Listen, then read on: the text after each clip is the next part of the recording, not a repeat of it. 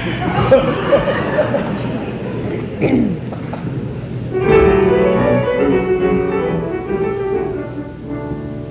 a sweet, charming creature was Kitty O'Toole, the lily of park in the rain, with her eyes like the stars and her cheeks like the rose, and her figure as neat as a fairy. I saw her one day, ah, she looked like a queen, in the glory of sweet with a twin As she sat with McGinty behidad aindid McGinty.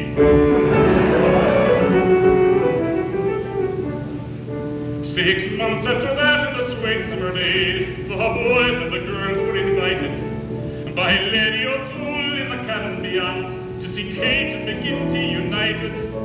And when in the church they were joined into one, and the prayer